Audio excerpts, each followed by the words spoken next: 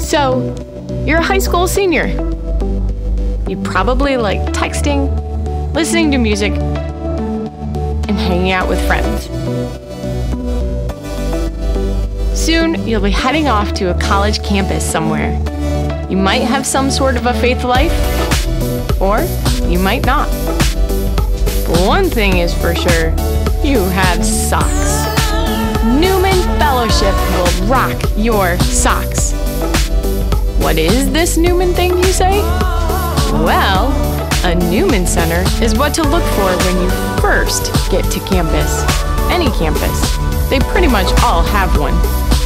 It's a place where Catholic students who want to learn, live, and love their faith can go. Some teens lose their mm, socks in college because they become lured by the false freedom they see all around them. That's not you.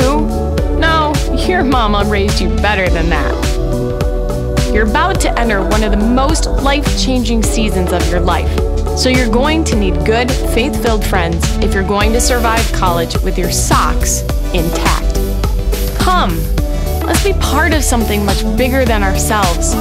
Let's surround ourselves with friends who will challenge us to live fully as God has intended. Let's take the gospel to the ends of the earth.